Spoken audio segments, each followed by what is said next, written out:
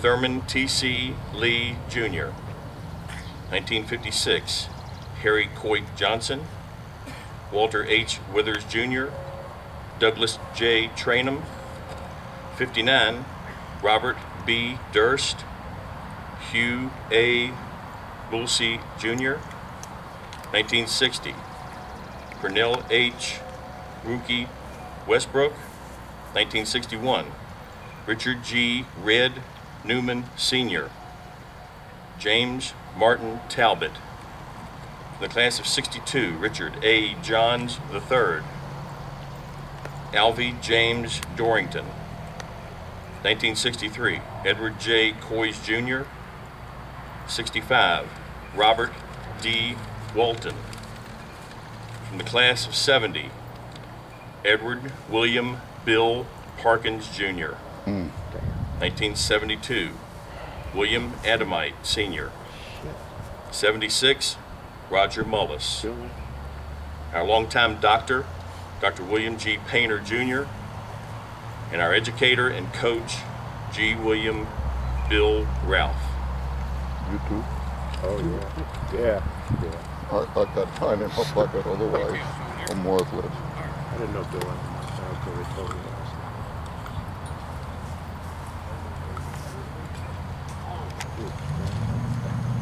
By the drum.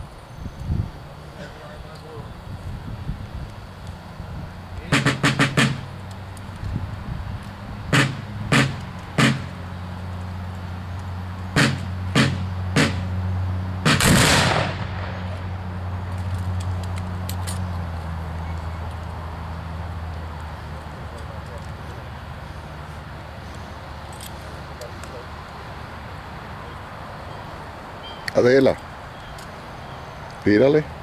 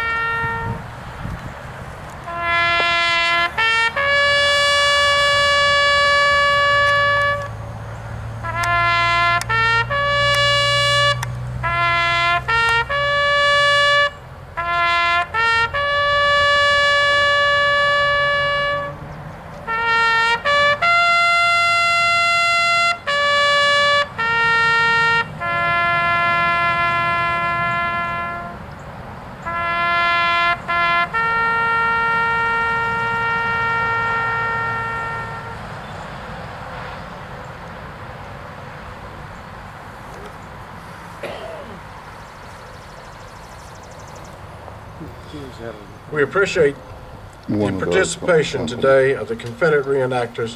You have made this ceremony very special. Please be sure to visit our Confederate encampment in front of the big barracks to see how the Southern soldiers lived in the field a century and a half ago.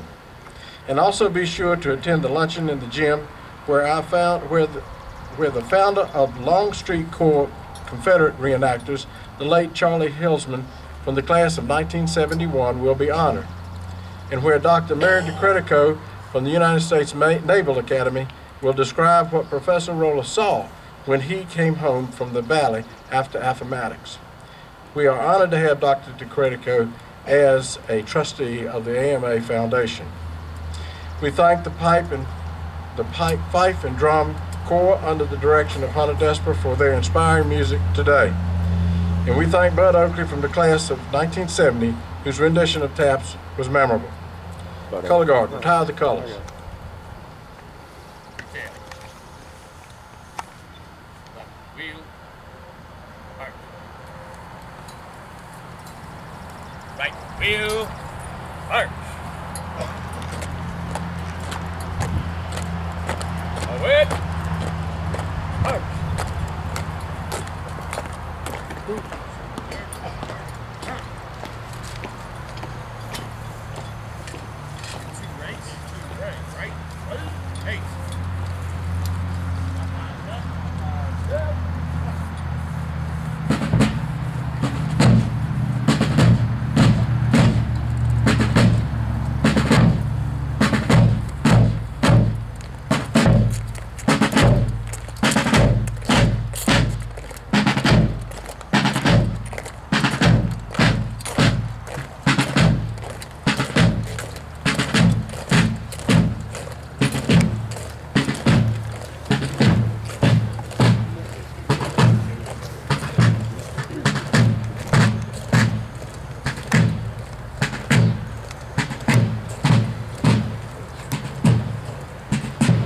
This concludes our program. Thank y'all for coming. Please uh, return to the campus where lunch will begin shortly.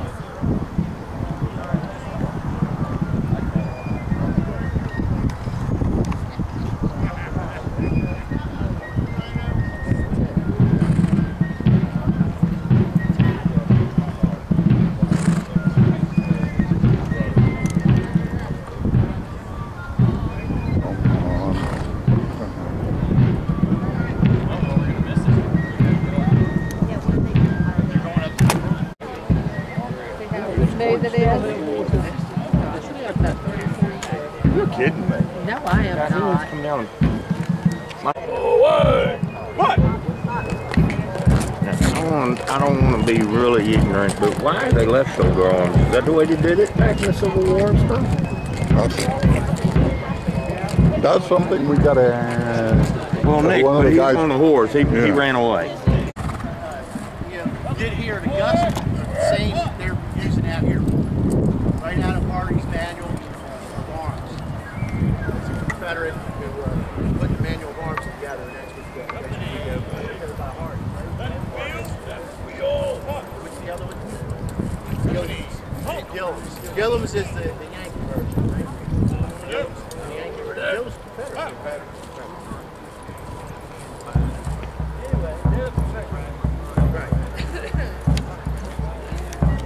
Most of these guys from 28 Virginia companies come out of Great Gotta go through somebody to get the case. Facebook. So you were coming up. Oh yeah. I said you saw it. That was there yesterday. I tried to answer it.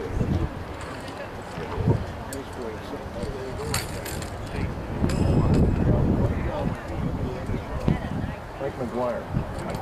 Yeah. My roommate. Yeah, that's what he said.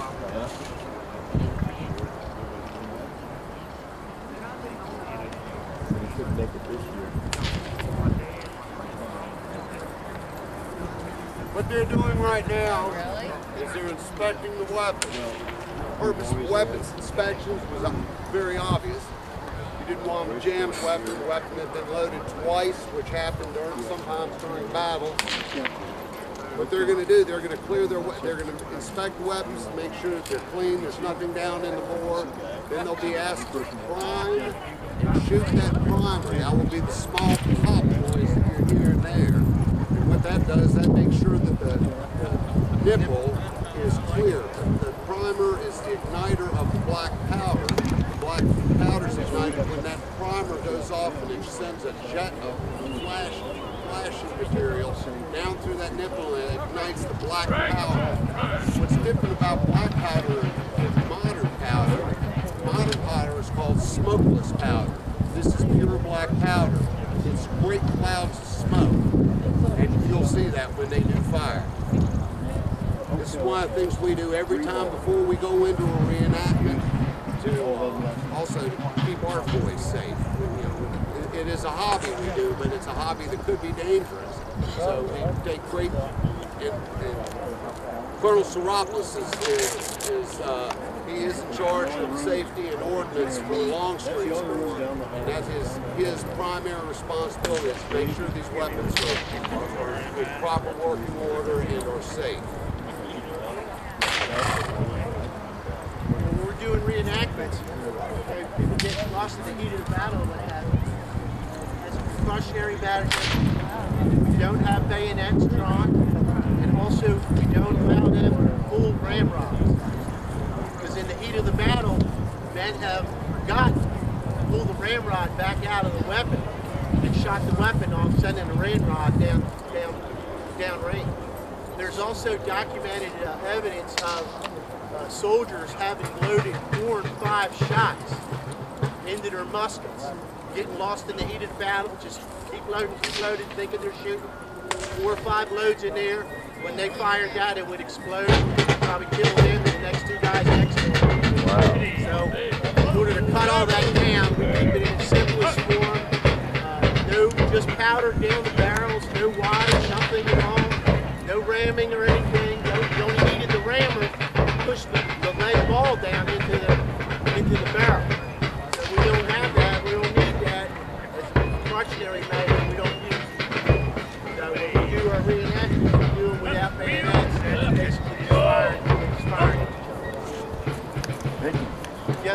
do uh, the, the reenacting of battle, inevitably, uh, people decide to change history. Okay? you know, Yankees are supposed to get shot, don't get shot. Confederates are supposed to get shot, don't get shot. You're supposed to push here, no push comes. You know, a lot of things happen and people just mess up. And we're just playing, so you can imagine in the heat of a battle. Another thing is communications. You think about it, there's no radio or anything. I going to tell my right flank across the street over here where the barns are?